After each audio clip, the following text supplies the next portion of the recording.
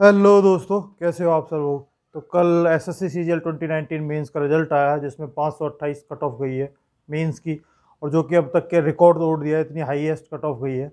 और I understand बहुत लोगों का नहीं हुआ होगा, और उनका पेन क्या होता है, तकलीफ़ क्या होती है, मैं वो समझ सकता हूँ, क्योंकि मैं इस फ़ेज़ से गुजरा हूँ, मुझे पता है, मेरा जब नहीं हुआ था सी जी एल दो हज़ार सोलह में तो मेरे साथ क्या गुजरी थी और कितना मैं तकलीफ़ में था तो मैं वो समझ सकता हूँ आपका दर्द।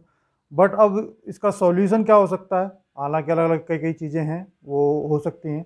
बट फ़िलहाल जो हम प्रैक्टिकल सॉल्यूशंस हैं, वो बता सकता हूँ आपसे, वही डिस्कस करेंगे हम यहाँ पे। कि देखिए, एक तो चीज़ ये है कि अब नंबर जब तक नहीं आ जाते मीन्स के और टीयर थ्री के, तब तक हम कुछ कह नहीं सकते किस शिफ्ट में कितना क्या क्या डिफरेंस रहा। इतना पता है कि नॉर्मलाइजेशन ने बहुत बड़ा गेम किया है।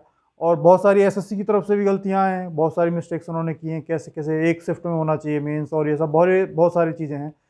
उस एसएससी के एंड की चीज़ें एस एसएससी संभालेगी और, और बड़े बड़े कोचिंग इंस्टीट्यूट और बड़े बड़े लोग उसको मैनेज करने की कोशिश कर रहे हैं वो उस पर कुछ कदम बहुत जल्दी उठाएँगे।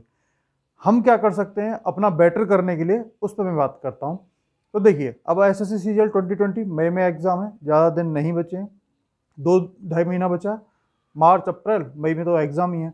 तो दो ढाई महीने बचा, आप पूरा जी जान से लगाइए और कोशिश करिएगा कि प्रिलिम्स में आप ए का कट ऑफ़ ज़रूर क्लियर करें। क्योंकि अभी आप एस एस सी उन्नीस का देखें तो 800 में से 517 गया है ए का और 600 में से 528 गया है नॉर्मल वो। आप देखिए, बहुत से ऐसे एस्पिरेंट्स मिल जाएँगे आपको, जिनका टीयर टू और पोस्ट का कट ऑफ़ क्लियर नहीं हुआ। मतलब वो टीए भी नहीं ले पाए वैसे, लेकिन उन्होंने एओ का कट ऑफ़ क्लियर करने की वजह से वो असिस्टेंट ऑडिट ऑफिसर बन जाएँगे 4800 ग्रेड पे। एकमात्र पोस्ट है एस एस में, जो 4800 ग्रेड पे की है, पचहत्तर अस्सी हज़ार तनख्वाह जिसकी बनती है। आप सोचिए, वो उसको मिल जाएगी और हालाँकि उससे चाहे टीए भी नहीं लगाया जाता। तो ये डिफरेंस आ जाता है जस्ट बिकॉज़ एक पर्टिकुलर एस्पिरेंट ने प्रिलिम्स में इतना हाई कट ऑफ़ किया है।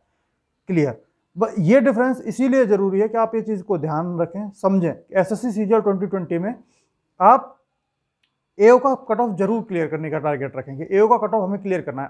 उससे क्या होगा? वर्स्ट के सिनेरियो में भी आपके पास एक जॉब श्योरिटी सी टाइप हो जाती है। अगर ठीक ठाक भी परफॉर्म कराए मीन्स में। एवरेज भी परफॉर्म कराए तब भी, भी आपके पास जॉब की गारंटी हो जाती है। तो ये हमको समझना चाहिए सभी को। और ज़रूर इस पर काम करें। और इसके अलावा कि इसके लिए कैसे कैसे पढ़े हैं क्या क्राइटेरिया होते हैं एओ स्पेसिफिकली वीडियो में लेके आ जाऊँगा। आज रात तक आ जाएगी। उसमें पूरी डिटेल बता दूँगा क्या क्या क्वालिफिकेशन चाहिए कितना कट ऑफ़ जाता है, कितना एक्सपेक्टेड रहता है, सब कुछ ए टू जेड पूरी डिटेल के साथ आ जाएगा। इसके अलावा जो और काम की बात कर रहा हूँ, कि अब वो आएगा कैसे? ए का कट ऑफ़ क्लियर करोगे कैसे आप? इसके लिए आपका जीके में, क्योंकि मैथ में आप एक सर्टेन स्कोर से ज़्यादा नहीं ला सकते फिफ्टी आउट ऑफ़ फिफ्टी से ज़्यादा कहाँ लाओगे? इंग्लिश में नहीं ला सकते रीजनिंग में नहीं ला सकते। जो डिफरेंस क्रिएट होता है, वो जीके वाले सेक्शन से होता है। उसको इंपॉर्टेंस देना बहुत ज़रूरी है। बिल्कुल निगलेक्ट नहीं कर सकते, उसका लिए थोड़ा थोड़ा आपको एक एक घंटा दो दो घंटा डेली देना पड़ेगा। उसमें जब से टीसीएस आया है करंट अफेयर्स और स्टैटिक जीके की इंपॉर्टेंस बढ़ गई है, बहुत बढ़ गई है। आप खुद देख लीजिए पेपर उठा के बहुत बढ़ गई है। उनके 25 क्वेश्चंस में से कम से कम 16 15 16 क्वेश्चन सिर्फ़ इन्हीं दो सेक्शन से रहते हैं करंट अफेयर्स और स्टैटिक जीके बीस बीस क्वेश्चन तक भी रहे कुछ सेट्स में। तो इसीलिए आप उस पर बहुत फोकस करिए। बाकी मेरी ओर से कंट्रीब्यूशन ये है कि मैंने खुद स्टैटिक जीके की स्टेट वाइज सारे स्टैटिक जीके जिसमें टेम्पल्स फोक डांसेज ट्राइब्स और सब नेशनल पार्क सेंचुरी सब कुछ उसकी एक वीडियो सीरीज़ स्टार्ट कर दी है। हर एक स्टेट की हम करते चल रहे हैं। दो की मैं कर चुका हूँ और कंटिन्यू आती रहेंगी और मैं पूरी वीडियो सीरीज़ करा दूँगा स्ट्रेटेजी के, कंप्लीट आपकी।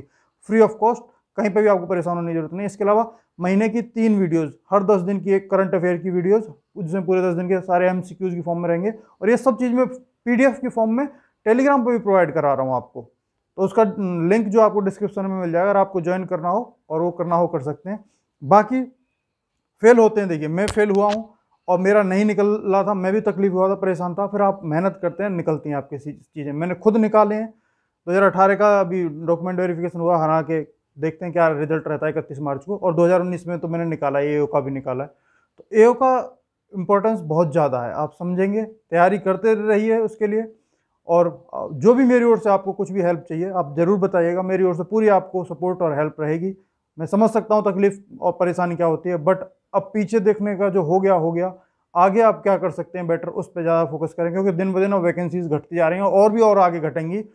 जितना भी है, एक आध साल जो ये गोल्डन अपॉर्चुनिटी है, इसमें जितना बेस्ट से बेस्ट आप कर सकते हैं, कर लें। आगे और भी बहुत बुरे हालात होते जाएँगे। अभी पाँच सौ अट्ठाईस गई है, जिस हिसाब से नंबर ऑफ़ वैकेंसीज घट रही हैं कंपटीशन बढ़ रहा है, और जिस हिसाब से एसएससी की हरकतें हो रही हैं कट ऑफ़ पाँच सौ अट्ठाईस से मुझे लग रहा है पाँच सौ चालीस भी ना चला जाए, बहुत बहुत डिफ़िकल्ट हो जाएगा। अब ये मैं बोलते हैं कुछ एस्पिरेंट्स क्या प्रिपरेशन करें कि नहीं करें, क्या लॉजिक क्या है इतने मार्क्स आएँगे कैसे, क्या?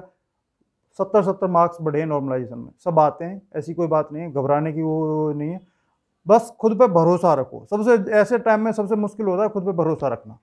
खुद पे भरोसा रखोगे, पढ़ते रहोगे डेली विद टारगेट्स के हिसाब से पढ़ते रहोगे कंसिस्टेंसी के साथ। अब कंसिस्टेंसी और मेहनत का हार्डवर्क का गेम है भाई। जो जितना हार्डवर्क करेगा, जो जितना अच्छा परफॉर्म करेगा, जो जो अपनी जितना गलतियों पर काम करेगा, अपनी जो सिली मिस्टेक्स आपसे हो रही हैं, जो वीक एरियाज़ हैं आप, जितना आप उन पर काम करेंगे और जितना आपका स्कोर बढ़ेगा, तभी आप कर सकते हैं। बहुत रूथलेस कंपटीशन है, इस सच्चाई से बिल्कुल नहीं नकारा जा सकता। तो अब जो सच्चाई है, उस पर अब हम क्या कर सकते हैं, अपनी ओर से बेस्ट वही कर सकते हैं और वो करिए और मेरी ओर से आपको जो भी सपोर्ट जैसा भी चाहिए करंट अफेयर्स के फॉर्म में, स्टैटिक जीके के लिए इंग्लिश मैथ्स सब चीज़ के लिए। क्योंकि मैंने इंग्लिश में भी कंसिस्टेंटली काफ़ी अच्छा स्कोर किया तो अब कह सकते हैं one ninety two point five score इस बार भी था मेरा C G L twenty nineteen में। मैथ में चाहिए, किसी में भी चाहिए, आपको कुछ भी हेल्प चाहिए, आप ज़रूर रखें। मैं पूरी ये चैनल बनाया है मैंने, मैं खुद ग्रामीण बैकग्राउंड से हूँ, देखो। गाँव से पढ़ाऊँ, हिंदी मीडियम सरकारी स्कूल से पूरी एजुकेशन रही है मेरी। उसके बावजूद मैं कर सकता हूँ तो कोई भी कर सकता है। ऐसा कुछ भी इम्पॉसिबल नहीं है। बस खुद पे भरोसा रखो, मेहनत करो कंटिन्यू होगा।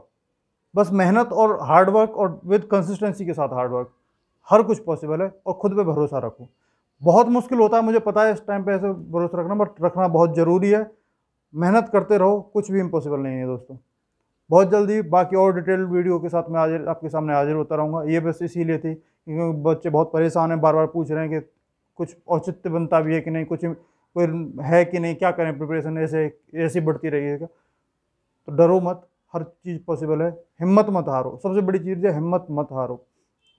मुझे पता है ये थोड़ी ऐसी लग रही होंगी फिलोसफिकल बातें, बस सच में बोल रहा हूँ, हिम्मत मत हारो, मेहनत करते रहो। सब कुछ होगा पॉसिबल होगा। ठीक है दोस्तों? चलो मिलेंगे तो तो मेहनत करते रहो दोस्तों। गुड नाइट सब खैर